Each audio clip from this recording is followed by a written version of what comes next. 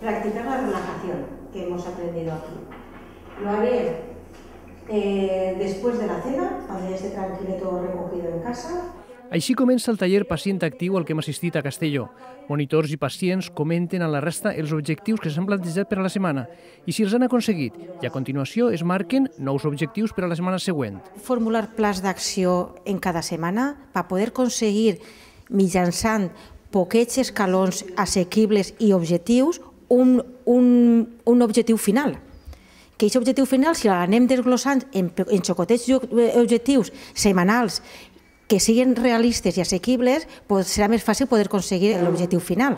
Paqui i Juana són infermeres i monitores del taller en pacient actiu, però insistixen en que són un pacient crònic més, igual que els pacients que reben el taller.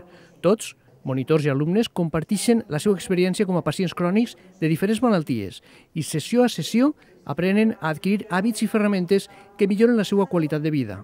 No és per a dependre amb un to de la nostra malaltia. No, estos, eh, estos talleres para dependre manejamos en la nostra malaltia que ens va durar tota la vida. Entonces, eh, encara que cada un tingui una malaltia crònica diferent, aquests problemes de poder-se manejar positivament són comuns a tots. Eh, d'exercici, d'alimentació, inclús de prendre consciència de que les coses, mm, dependís de com se prenguen mentalment, eh, poden tirar cap a un costat positiu o no. Avui, entre altres temes, aprenen a interpretar les etiquetes dels aliments, un element quotidià, però de gran importància per a molts d'estos pacients que pateixen malalties com ara la diabetis o la hipertensió. Me están enseñando muchísimo pues, en cuanto a alimentación. Yo ya sabía, claro, ya tenía unas pautas, pero aquí están reforzándomelas, estoy aprendiendo cosas nuevas.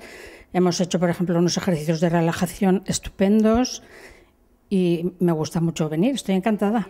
A més, les monitores seleccionen els pacients que pel seu perfil podrien ajudar a altres pacients a adquirir els bons hàbits que ells estan aplicant ja a la seva vida i en una segona fase poden convertir-se en una espècie de pacients líders que formen altres pacients crònics.